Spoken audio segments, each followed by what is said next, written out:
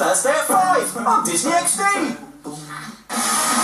Now it's time to watch a very big green man smash a lot of things and maybe stop a bad guy or two. It's Hulk and the Agents of Smash.